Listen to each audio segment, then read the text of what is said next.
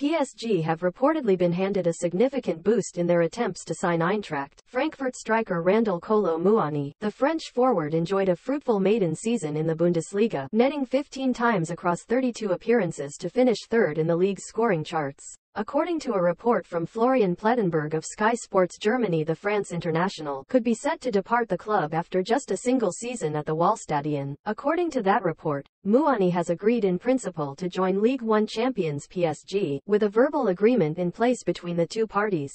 However, a price for the 24-year-old has not yet been agreed, with Frankfurt sporting director Markus Krösche said to be determined that the former Nantes star will not leave this summer unless PSG meets their £86 million asking price.